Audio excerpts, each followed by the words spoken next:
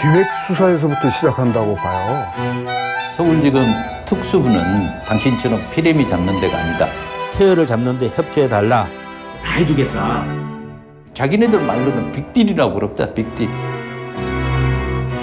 KBS랑 김경록 인터뷰할 때 조국 교수가 김경록 씨까지 쫓아갔대 네가 털어봐 인터뷰했다는 사실도 검사들이 미리 알고 있고 이제 본능적으로 아 이거는 검찰한테 유리하게끔 기사가 나가겠구나 기자님 저 한동훈 차장인데요. 제가 말하거나 그러면 검찰 관계자라고 하는 게 그 불문율로 알고 있는데 그래서 편지를 썼거든요. 그런 거 하다가 한두 걸리면 되지.